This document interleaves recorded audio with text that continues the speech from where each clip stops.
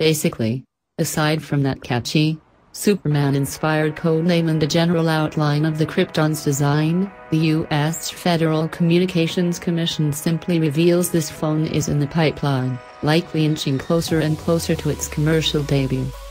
All-touch Snapdragon 625, or newer 626 processor Full HD 1920 by 1080 display 4GB of RAM 4000 mAh battery home button with built-in fingerprint scanner still, the sketchy shape of this purportedly mid-range handset is intriguing, to say the least, with sharp top corners and a smoothly curved base.